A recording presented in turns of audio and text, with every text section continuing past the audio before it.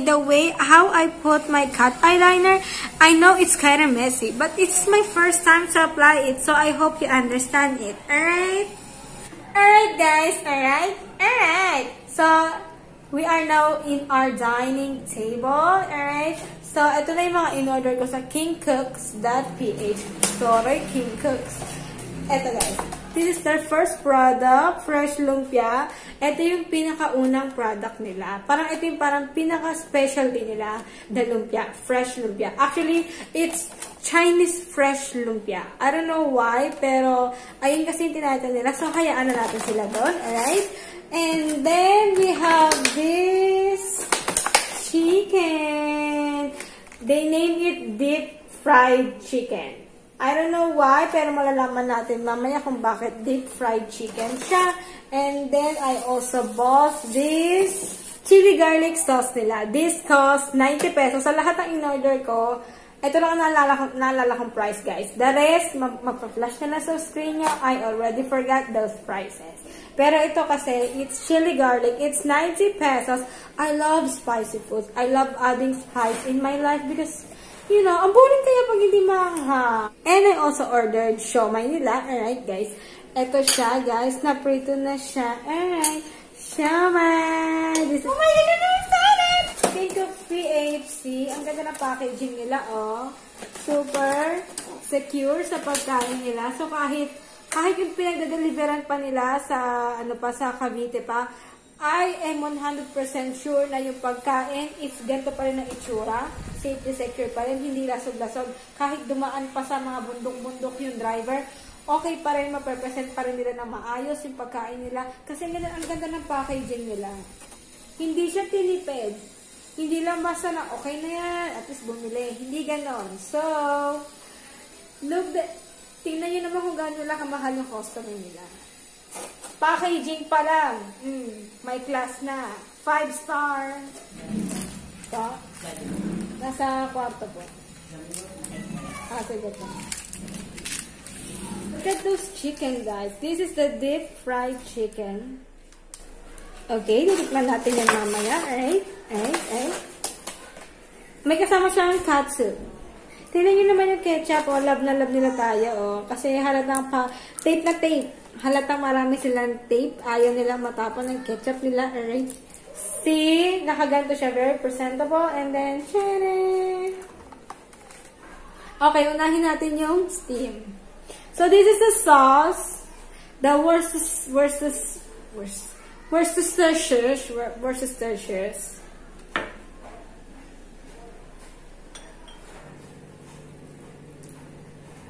Wait. Joke. Ang sarap! Masarap siya. As I observe, the siomai, gawa siya sa hybrid pork ng China. Kaya masarap siya. Again and again, ulitin natin.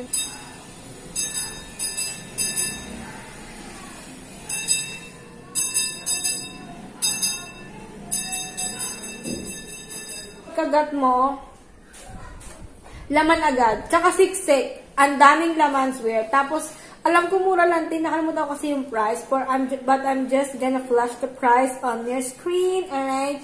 And then, 35 pieces to. So, pwede na siyang pang lunch sa family na I'm very sure super matutuwa ang family. Yung tipong magkakaaway kayo, magkakapamilya, tapos magkakabati kayo sa siomay na to. Kasi ang sarap. Believe me guys, believe me. When I said it, I said it. Oh my gosh, this food is so yummy. So guys, you better order it.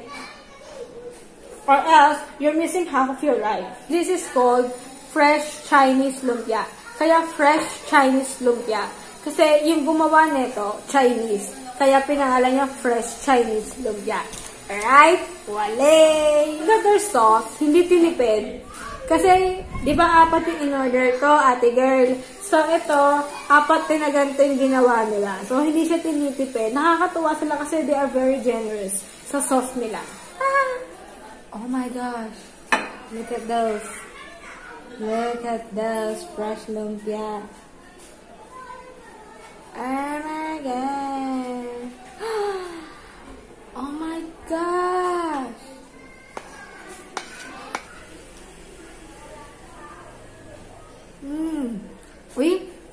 Sarap ng sauce. I like the sauce. Oh my God.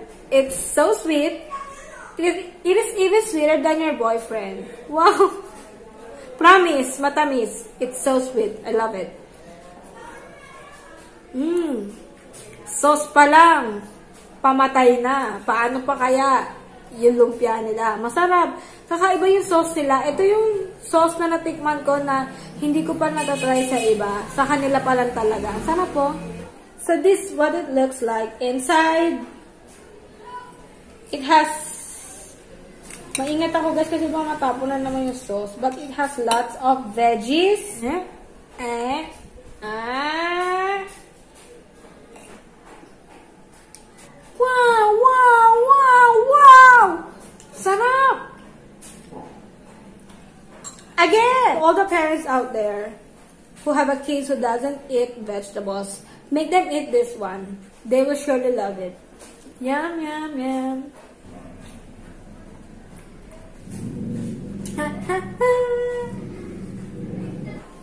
I'm sorry kung mukha na siyang sinabugang granada, pero masarap siya. Kita nyo naman, hindi tinipid yung ano, yung toppings. Ay, toppings tuloy. Yung laman, hindi tinipid. I can say that the price I bought to this one is super worth it. Worth it. Worth it. Mm.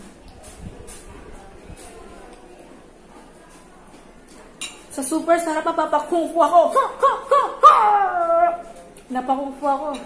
For me, ulit, uulit ako sa product na to.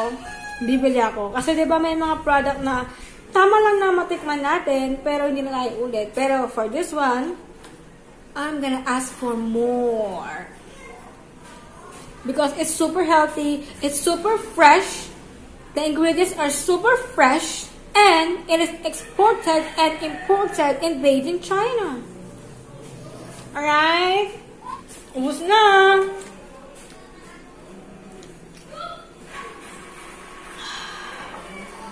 Delicioso! As far as I know, in-interview ko yung may-ari nito. Sabi ko, what makes your chicken stand out among the other chicken store?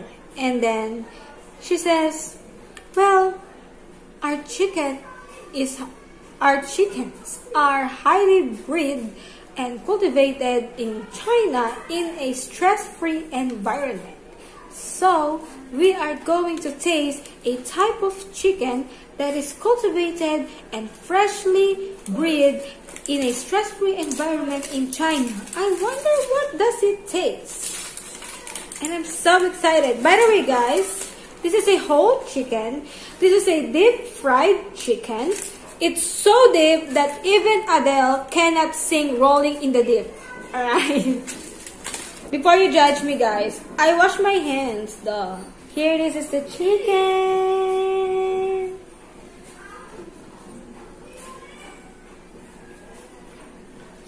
Oh my gosh.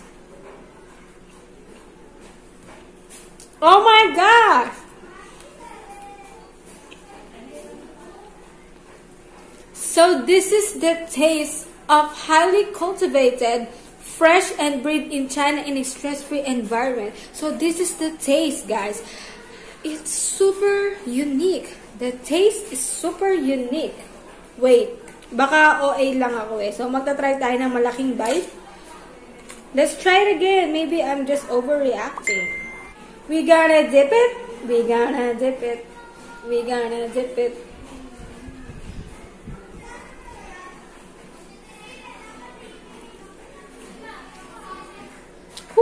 I?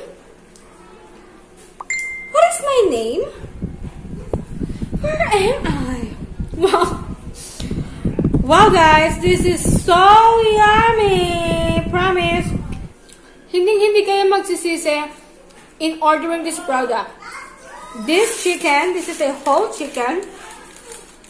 I think it's good for for family members and I can say you will never ever regret ordering this one kasi it's super delicious. It is not just a typical fried chicken but it has something different taste.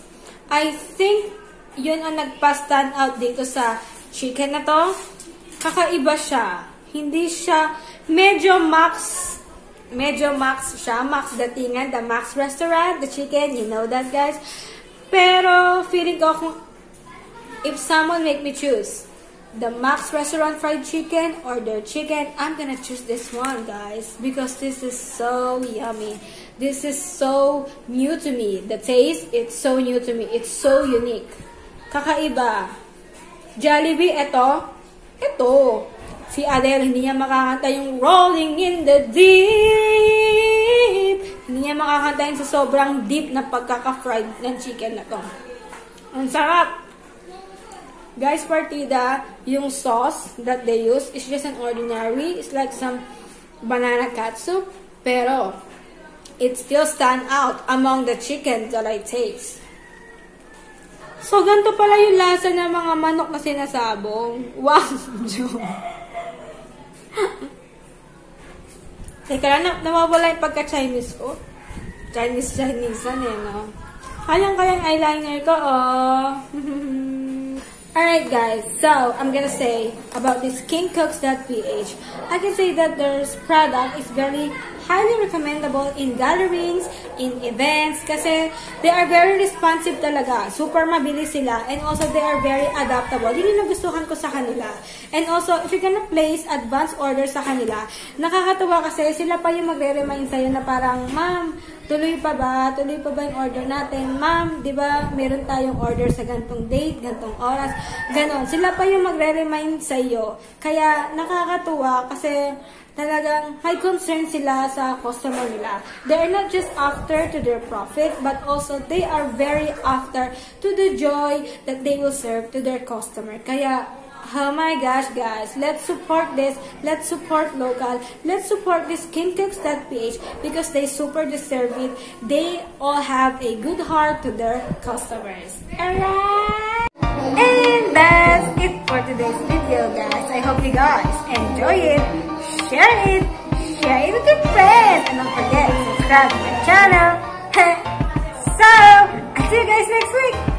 Bye! Excuse me.